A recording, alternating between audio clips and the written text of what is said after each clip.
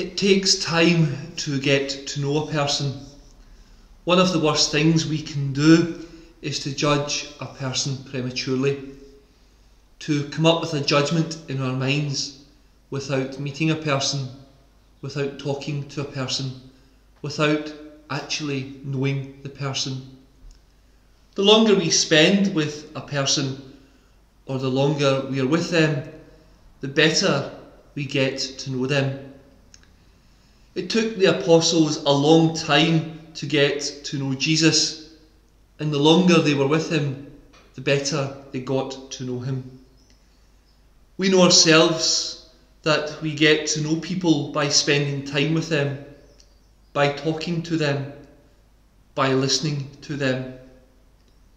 When we experience people, we get to know and understand them better. If we spend time with the people we love, if we talk to them, listen to them, and enjoy their company, why would we not do the same with Jesus? In order to know Jesus, we need to spend time with Him. We need to do all these things with Him that we do with our loved ones. During our Lenten journey, we're invited to know Jesus better.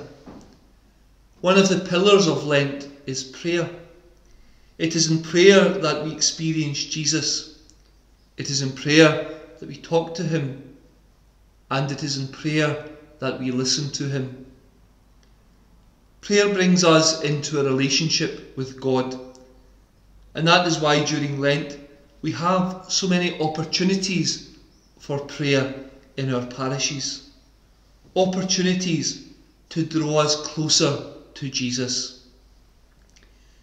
In our Gospel, Jesus went up the high mountain with the apostles. As we know in the Old Testament, a mountain was a place of encounter with God, a place to experience God. It was a place where people would go to reach God. Jesus climbs the mountain to show he is the fulfillment of the Old Testament. He becomes transfigured in order to show his apostles and us that he truly is God. We don't have to go up high mountains to experience God. We know this. We have our own holy mountain, the mountain we call the church. We come here to experience God. And like Peter, like James, and like John, we see Jesus transfigured. We see him in the Eucharist. We experience him in the sacraments. In this church, God comes to us.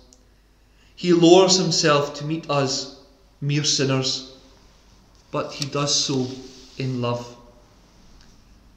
As Peter, James, and John saw Jesus' divinity revealed, their attitudes to Jesus must have been transformed just as they saw Jesus transformed.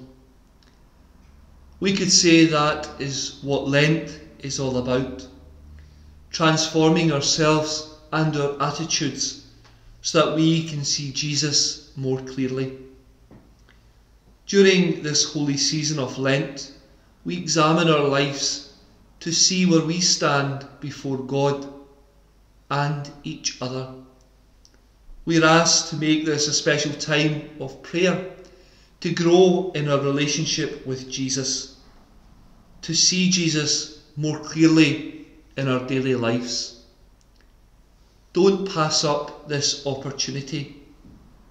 And perhaps at the end of Lent, we can make the words of Peter our own.